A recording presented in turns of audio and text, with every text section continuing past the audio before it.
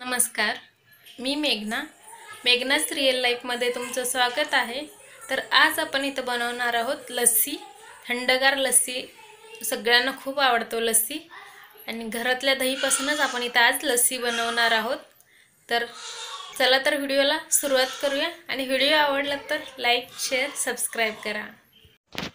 त्यासाठी इथं बघा मी दही घेतलेला आहे. तर एक मोठं वाटी भरून मी इथं दही घेतलेलं आहे. तर हे दही आहे घरचंच आहे. तर हे मी काल रात्रीच लावलेलं होतं.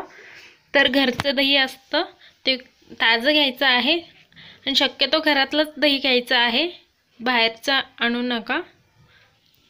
त्यानंतर इथं बघा साखर घेतलेला आहे आणि त्यात दोन तीन इलायची सोलून घेतलेल्या आहेत. तर हे आपल्याला मिक्सरला लावून घ्यायचं आहे साखर. एक अर्धी वाटी घेतलेला आहे. तर तुम्ही कमी जास्त घेऊ शकता. आणि त्याच्यानंतर इथं बघा आपल्यात तुम्ही इथं फ्रेश क्रीम वगैरे कुठलाही क्रीम तुम्ही घालू शकता. तर मी इथं घरातला जे आपल्याकडं मलाई असतो तर तेच मी इथं थोडंसं फेटून घेतलेलं आहे. आणि त्याच्यानंतर इथं बघा एक पाव वाटीभर मी इथं दूध घालून घेणार आहे. तर तुम्ही दुधाऐवजी पाणीसुद्धा वापरू शकता. आणि जर तुम्हाला घट्ट हवं असेल तर तुम्ही नुसतं दह्याचं सुद्धा करू शकता. दूध न घालता. तर इथं बघा एका भांडीत मी हे दही सगळं घालून घेत आहे. तर तुम्ही बघू शकता आपलं दही आहे घट्ट आहे.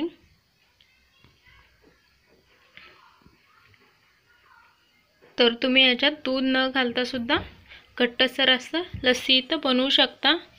तर मी इथंच हे दूध आहे घालून घेतलेलं आहे. आणि त्याच्यानंतर इथं बघा साखर आहे ते मिक्सरला लावून घेतलेलं आहे. तर त्याच्यातलं मी इथं आधी थोडंसं घालून घेतलेलं आहे. तर हे बघा मी आज इथं मिक्सरमध्ये करणार नाही आहे तर हे मिक्सरमध्ये पण करू शकता किंवा असं हे हाताने रवीनेसुद्धा फिरून घेऊ शकता. जर तुमच्याकडे हे असलं असेल तर असलं घेऊ शकता किंवा जे आपल्याकडं लाकडाचे असतात रवी तर त्याच्याने सुद्धा तुम्ही इथं घोटून घेऊ शकता. म्हणजे आता ह्याला इथं असं एक तीन ते चार मिनटं असंच मी फिरवून घेणार आहे. तर हे बघा त्या वाटीतलं मी ते सगळं साखर इथं घालून घेतलेलं आहे. तर मी पहिलं बघितलेलं होतं तर मला अजून थोडंसं गोड हवं असं वाटलं. म्हणून मी ते सगळं वाटीतलं घालून घेतलेलं आहे.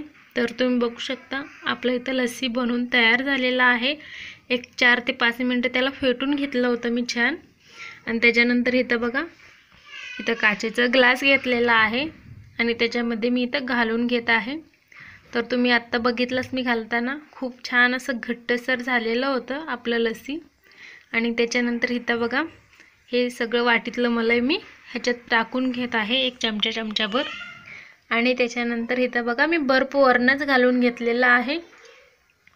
जर तुम्हाला असं ग्लासमध्ये घालायचं नसेल बर्फ तर तुम्ही आधीच जेव्हा आपण फेटून गोठून घेणार होतो म्हणजे फिरवून घेतो रवीनी तर तुम्ही त्यातच घालू शकता.